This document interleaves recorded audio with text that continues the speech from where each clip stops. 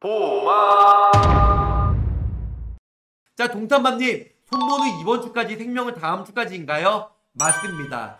자, 그러면은 흑백이긴 하지만 내려온 거 저 보호망이 살짝 어 이거 찍어가지고 바로 올려드리도록 할게요. 자, 여기는 저기 A4 저 공문 내려온 거 제가 말씀드릴게요. 일단은 일반함 유사함은 어, 유사함은 일단은 2천만 한도로 다음 주부터 가입이 되고요. 일반함의 50%만 가입이 된다. 언제까지? 8월 8일 월부터 시작이 된다는 겁니다. 그래서 유사함은 어, 지금 여기 보시면 총 보험료의 50% 합산해서 일단 50%까지 가입이 된다. 그리고 8월 8일까지 가입이 되고요. 그 다음에 한유사의 최고 2천만 원까지 가입이 된다. 일반함의 50%로 어, 된다. 이렇게 알고 계시면 좋으실 것 같아요. 하지만 8월 7일까지 청약 완료된 건은 밑에 보시면은 일단은 8월 12일까지는 수납이 된다. 그래서 수납은 말 그대로 어, 그 전에 이번 주까지 청약 완료된 건들은 수납이 가능하지만 일단은 설계나 모든 게 적용이 되는 거는 8월 8일 다음 주 월부터 시행이 되기 때문에 8월 7일까지만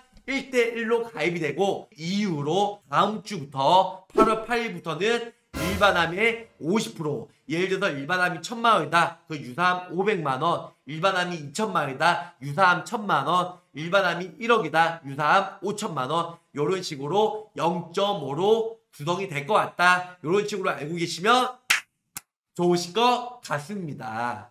본 광고는 손해보험 광고 심의 기준을 준수하였으며 유효 기간은 심의 일로부터 1년입니다.